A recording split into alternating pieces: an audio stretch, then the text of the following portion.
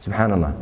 Äh, so viele auf einmal, so viele vollkommene Männer, die so viel Iman, so viel Taqwa, so viel Aufopferung gebracht haben oder Opferbereitschaft hatten, subhanallah, hat es nie gegeben. Und deswegen sind sie auch besser als die anderen, sagen wir Sahaba, die anderen Gefährten von den anderen Propheten.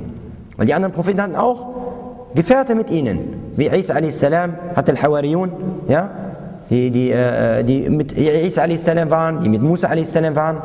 Aber die Gefährten, die Freunde von Muhammad sind bei Allah die allerbesten von allen anderen auch. Subhanallah. Warum? Weil so viele, so aufrichtige, so gottesfürchtige Menschen hat es nicht gegeben, auf einmal, zusammen. Und deswegen, wie Umar sagte in diesem schönen Hadith, er sagte, Allah Azza wa hat uns Ehre und Stolz gegeben mit dem Islam. Zuvor waren wir das erniedrigste Volk, das schlechteste, schlimmste, schwächste Volk. Und Allah hat uns eine so hohe Stufe gegeben. Womit? Mit dem Islam. Er sagte, sobald wir versuchen, die Ehre, den Stolz in einer anderen Sache zu suchen, außer im Islam, dann wird uns Allah wieder erniedrigen. Und deswegen sind wir leider heute wieder erniedrigt und werden von überall bekämpft und werden überall, yani, äh, wird äh, auf uns draufgetreten. Weil wir den Stolz, die Ehre nicht im Islam suchen. Nicht bei der Wahrheit suchen, nicht bei Allah und seinem Gesandten im Koran. Wir suchen es bei den weltlichen Dingen, bei den materiellen Dingen, subhanallah. Und das sagte auch Imam Malik, er sagte, die in der letzten Zeit, in unserer Zeit, in der letzten Zeit, vor Yom al-Qiyamah, diese Menschen werden nicht zur Ehre zurückkommen, bis sie zu dem zurückkehren, was die Ersten ehrenhaft gemacht hat. Die Ersten, die Sahaba. Wenn wir dahin zurückkehren und die Ehre darin suchen, nicht Nationalismus, nicht nur Marmor und irgendwie Gold und hohe, die höchsten Türme der Welt zu haben. Ja, sobald, solange sie danach streben, ihre, ihre Bedürfnisse, ihre Strebungen nur danach, ihre, ihre, nur ihren Begierden folgen, ihren Gelüsten folgen, dann werden sie unten bleiben. Und sie werden weiter erniedrigt. Bis sie nach dem streben, was die Ersten, wonach die Ersten gestrebt haben. Dann inshallah habe ich ganz kurz ein, einige äh, Punkte aufgelistet, yani, welche die Sachen sind, warum Allah Azza sie so ehrenhaft gemacht hat. Warum Allah Azza wa Jal sie so eine hohe Stufe, ich habe das schon im, im, Vortrag so ungefähr angedeutet mit verschiedenen Sachen, aber nochmal vielleicht kurz, yani, erklärt zum einen, natürlich haben sie diese Stufe erlangt wegen der Rechtsleitung Allahs Azza wa Jal. Weil, er, weil diese schwere gewaltige Aufgabe, brauchte, wie gesagt, richtige, aufrichtige Männer. Und Allah Azza wa Jal hat ja nie für diese wichtige Aufgabe, weil er ist nicht irgendetwas für eine kurze Zeit, für eine Periode. Es ist eine Aufgabe, die ja nie für die Menschen von Muhammad sallam bis zum Tag der Auferstehung. Diese Aufgabe ist, oder diese, diese Botschaft, die verkündet werden muss, ist eine gewaltige Aufgabe, weil es nicht nur für ihre Zeit war, sondern für ihre Zeit bis Yom al-Qiyamah wird es Yani diese Botschaft muss weitergetragen werden, weitergegeben werden. Und es muss weiter dafür geopfert werden. Und die, das Allerwichtigste ist Nummer eins, bei dem es anfängt. Und deswegen hat natürlich Allah Azza wa für, äh, für diese gewaltige Aufgabe gewaltige Männer Muhammad zur Seite gestellt, die diese Aufgabe gewachsen sind und hat sie auch dazu gerecht geleitet. Und deswegen die erste, in, in, äh, an erster Stelle und Linie ist es ja nie die, äh, die Rechtsleitung Allahs Azzawajal. Danach kommt natürlich ihre Aufrichtigkeit, Ikhlas in, der Religion und Ehrlichkeit und ihre Liebe zu Allah und seinen Gesandten, richtige Liebe zu Allah und seinen Gesandten. An einer anderen Stelle, und das diese Sachen zähle ich auf, damit wir inshallah, möge Allah uns seine Recht leiten, dass wir die Sachen ein bisschen kopieren und uns Gedanken machen und vielleicht der eine oder andere sich an diese Eigenschaften äh, darüber nachdenkt und vielleicht versucht, dass er sagt, wir werden, jeder von uns wird danach gefragt und ich werde versuchen als erstes bei mir diese Sachen zu ändern. Danach ist das die Gehorsamkeit dass man gehorsam ist, dass man hört. Du weißt, Allah sagt A, B, C, dann Sami'na wa ata'na. Weil das war ja nie, bei ihnen war das so. Ja, wie Allah sagt in Surat Al-Ahzab, وما كان لمؤمن ولا مؤمنة إذا قضى الله ورسوله أمرا أن يكون لهم الخيرة في, في أمرهم Allah sagt in diesem Vers ungefähr, und es ziemt sich nicht für einen gläubigen Mann oder für eine gläubige Frau, wenn Allah und sein Gesandter eine Sache entschieden haben, dass man dann auch in dieser Sache eine Wahl treffen kann. Das gehört sich nicht. Und bei den Sahaba war was? قالوا سمعنا وأطعنا Sie haben gesagt, wir gehören und gehorchen. Das ist eine wichtige Sache, Gehorsamkeit zu haben. Nummer zwei oder Nummer drei ist auch Bereitschaft, sich zu ändern. Seine, sein Benehmen zu ändern. Und wir haben oft über Benehmen geredet, aber leider haben wir immer noch die gleichen Probleme. Leider immer noch sind wir geizig, leider immer noch sind wir schlecht zu unseren Eltern, zu unseren Nachbarn, leider sind wir immer noch gierig, leider haben wir immer noch eine lange Zunge und lästern viel und lügen, obwohl wir ja nie sagen, wir sind Muslime. Ja, dass wir bereit, Bereitschaft haben, uns zu ändern, unsere Person, uns selbst zu ändern, weil wir werden niemals jemand anders ändern können, wenn wir uns nicht erstmal selbst ändern. Und Allah wird die Situation einer, wie Allah sagt im Koran, und Allah wird die Situation einer Gemeinschaft nicht ändern, eher sie sich selbst ändern. Wenn wir, uns nicht, wenn wir nicht bereit sind, uns zu ändern, dann wird Allah unsere Situation nicht ändern. Dann werden wir genauso bleiben und unsere Kinder und unsere Nachkommen werden genauso enden wie wir. Dass wir bereit sind, uns zu ändern. Sehnsucht nach dem Leben oder Sehnsucht für das, was nach dem, nach dem Tod kommt. Dass wir uns wünschen, dass wir uns Akhira wünschen. Und das ist auch das, der Unterschied zwischen uns und Sahaba. Die Sahaba haben sich richtig vorgestellt, Paradies und Hölle. Wie Ali radiallahu anh einmal sagte, er sagte, wenn ich, wenn, wenn ich jetzt, wenn mir, wenn mir das Paradies gezeigt würde, oder wenn man, wenn man mir ein, ein Fenster öffnen würde zum Paradies und zur Hölle, und ich könnte sie wirklich in Wirklichkeit sehen, ich hätte nicht die Möglichkeit, mehr zu tun als das, was ich momentan mache. Yani er, er macht schon das Maximum. Den ganzen Tag gehorcht er Allah und seinen Gesandten, betet und fastet und so weiter. Yani kann nicht mehr, es geht nicht mehr. Da ist nicht mehr Zeit drin. Betet, fastet, kämpft, liest, lernt, lehrt. Da ist nicht mehr drin. Da ist keine Zeit mehr drin, keine Kraft. Die haben schon das Maximum gegeben. Deswegen auch wenn er, wenn er, wenn er es wirklich sieht, er sieht die Hölle, er kann nicht mehr machen. Warum? Weil die haben sich das gewünscht. Wie ein anderer Sahabi auch zum Propheten sagte, er sagte, ich bin heute erwacht als richtiger Gläubiger. Er sagte, ja, wie, wie, wie kommst du, wie geht das? Wie kommst du darauf? Wie passiert das denn? Hat der Sahabi zum Propheten gesagt, sagte zu ihm, authentische Überlieferung, sagte zu ihm, oh Allah, ich bin erwacht und in meinen Gedanken so, ich war richtig, bin ich ins Paradies reingegangen und haben, mich, haben mir das Paradies angeschaut und haben mir die Hölle angeschaut und haben mir das Treffen mit Allah vorgestellt. Die haben in Akhira gelebt. Ihre Gedanken waren in Akhira. Ihre Wünsche, ihre Begierde, ihre Lust war in Akhira. Und wir leider, wir alle ja nehmen, keiner, ich, ich, äh, schließe mich auch nicht aus aus dieser Sache, leider. Wir wünschen uns Dunya. Wir wünschen, wir, wir, wir fragen und überlegen, Haus, Wohnung, schönes Auto, schöneres Auto, I, äh, äh, iPod und dies und iPad und, und so weiter. Subhanallah. Ja? Wir wollen immer hier, hier vorankommen. Wir, wünschen, wir haben viele Wünsche im Diesseits. Und die Sahaba haben viele Wünsche gehabt im Jenseits. Und das ist der Unterschied. Das wäre eine, äh, und da wäre natürlich äh, das meiste oder das Beste, was man machen kann, wenn man ja viel über Akhira, über das Paradies und die Hölle äh, hört und liest und sich Gedanken macht, dann wird man natürlich äh, auch sich danach sehen, nach dem Paradies und nach der, nach der Zufriedenheit Allahs Azza wa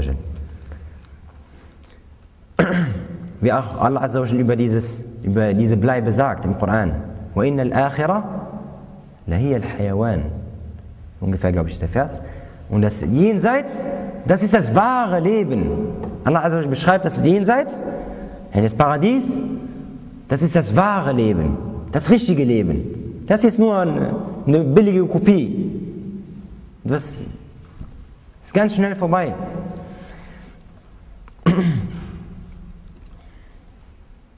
Und eine ganz wichtige Sache, liebe Geschwister, haben die Sahaba, was die Sahaba gemacht haben, was wir leider nicht richtig machen, die haben vieles gemacht für Allah Azza und sein Gesandten. Viele Taten gehabt, viele Anbetungen, Gottesdienste, die wir leider nicht machen und nicht bereit sind und zu faul sind leider, es zu machen. Warum? Weil Allah Azza wa im Koran sagt, und das haben sie verstanden. وَتِلْكُمُ الْجَنَّةِ الَّتِي أُورِثْتُمُوهَا Womit?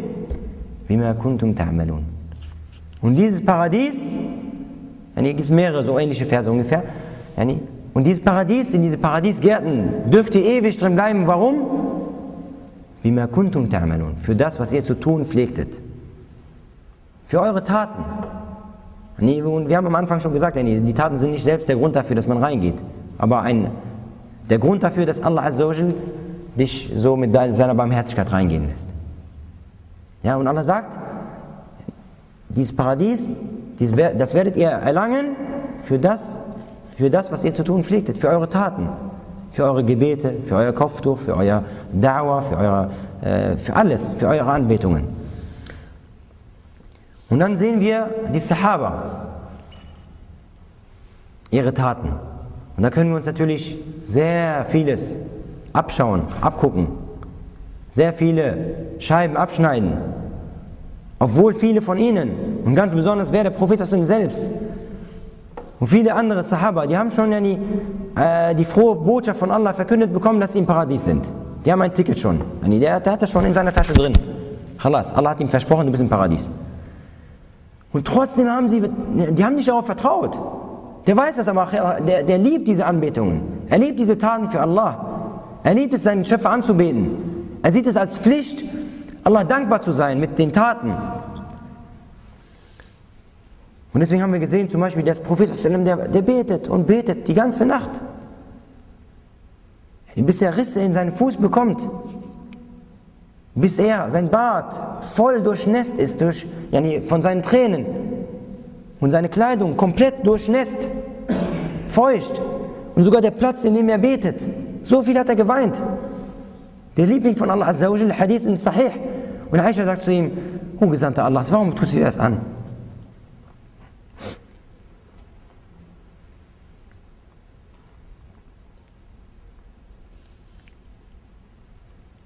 Und er betet und betet die ganze Nacht, bis seine Füße Risse bekommen.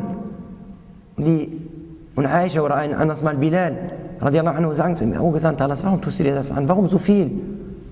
Allah hat dir doch alles vergeben. Allah hat dir gesagt, er hat dir deine Sünden vergeben, die du gemacht hast und die, die noch kommen. Die du noch gar nicht gemacht hast, ist schon vergeben. Warum, oh Gesandter? Sagt er nur, was? Soll ich nicht ein dankbarer Diener sein? Subhanallah. Und so waren auch die Sahaba. Abu Bakr, der Liebling von Muhammad, der beste Freund von Muhammad. Subhanallah.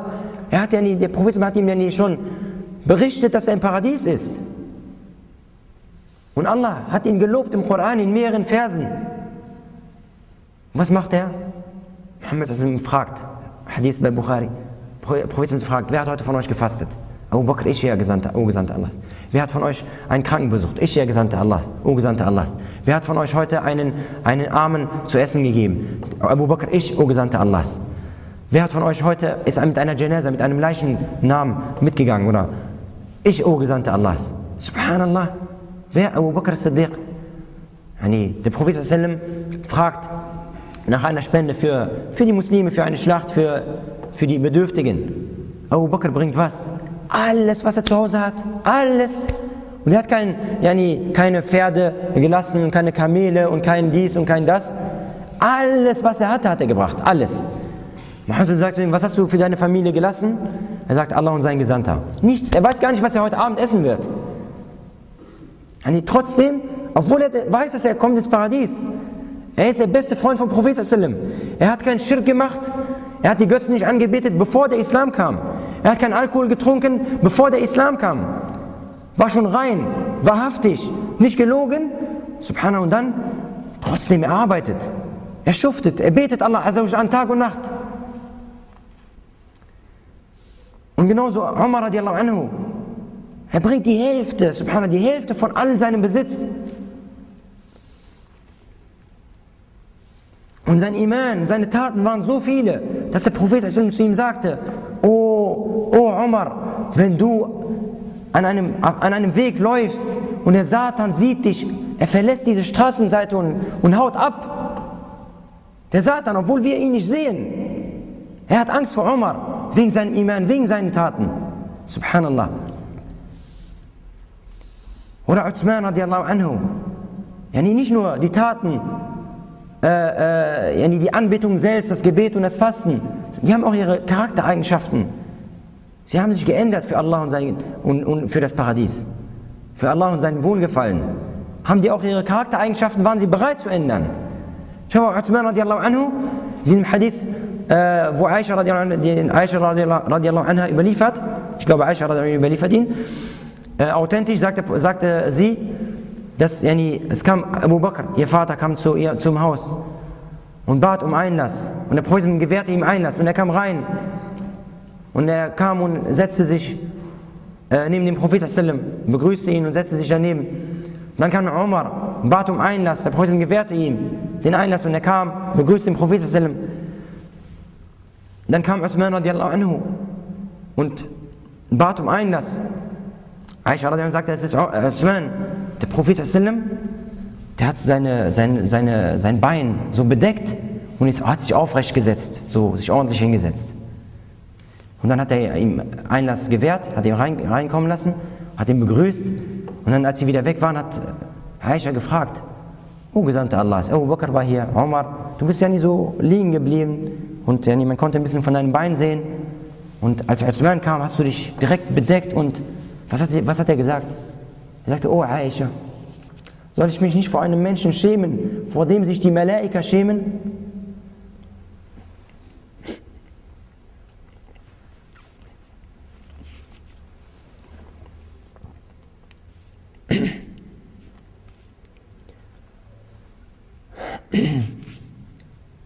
Oder diesen anderen Tag, als der Prophet, als sie dringlich in eine Schlacht mussten, kämpfen mussten, aber es war eine Zeit der Dürre, es war eine Zeit, wo, die, wo der Prophet und die Sahaba ganz, ganz wenig hatten. Und der Prophet fragte, wer spendet für Allah, für diese Armee, für diese wichtige Armee? Und der ist im Paradies. Der bekommt er in das Paradies. Oder wer spendet für diese Armee? Einer bringt ein paar Datteln, einer bringt so ein paar Brote. Die waren, die waren, war sehr schwere Zeit. Dann wer ist an diesem Tag aufgestanden? Uthman radiallahu anhu. 100 Kamele, nochmal 100 Kamele, nochmal 100 Reittiere, nochmal 100 Reittiere, immer mehr und Zehntausende von Dinar und so viel Geld. Der hat die komplette Armee, alle Reittiere und das ganze Proviant und die Ausrüstung, alles, das ganze Equipment von ihm. Was hat der Prophet gesagt? Alles, was nach diesem Tag geschehen wird, wird Uthman nicht mehr äh, ähm, alles, was, was Uthman nach diesem heutigen Tag, nach dieser gewaltigen Tat zustoßen wird, wird ihm nicht mehr schaden können. Khalas, diese, diese große, gewaltige Belohnung, die er für diese Tat hat, da kann keine Sünde mehr mithalten.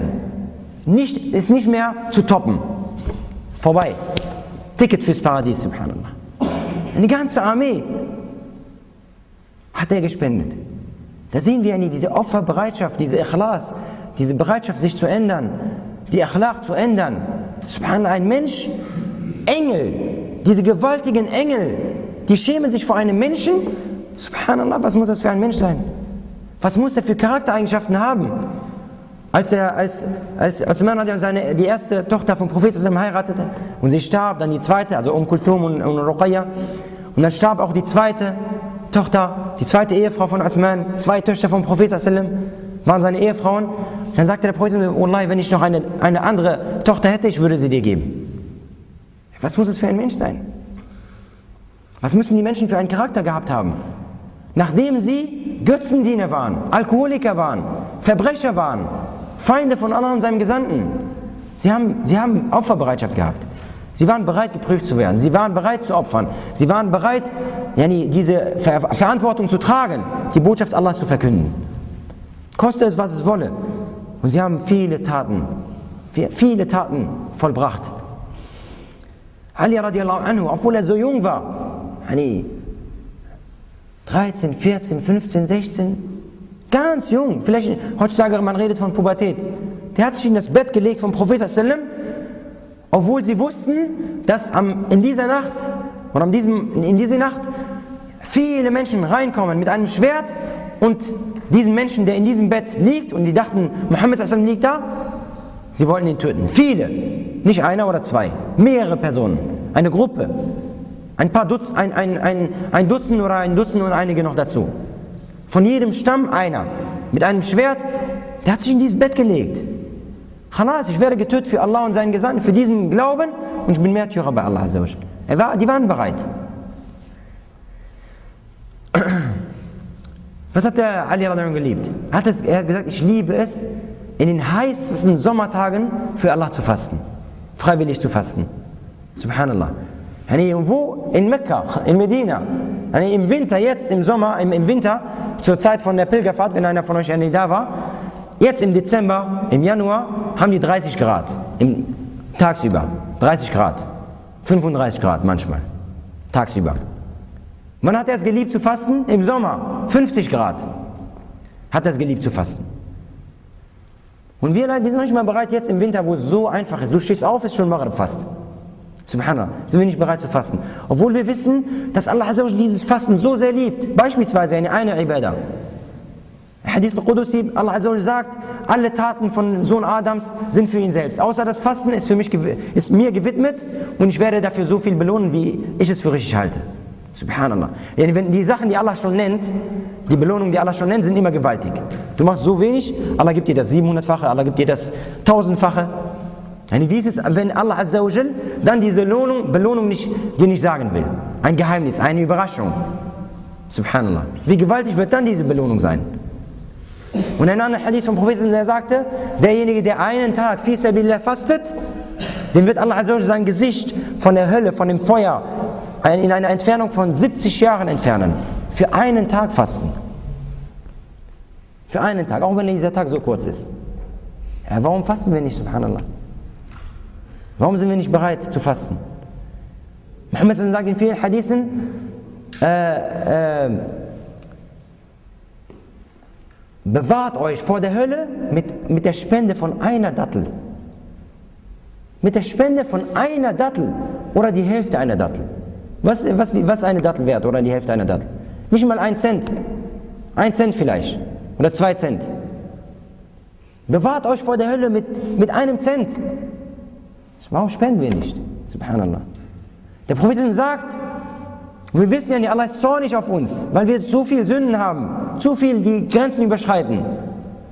Muhammad sagt, Inna sadaqata tutfi'u rabb Die Sadaqa, die Spende, die löscht, die löscht den Zorn von Allah Azza Allah ist auf dich zornig. Willst du, dass dieser Zorn gelöscht wird?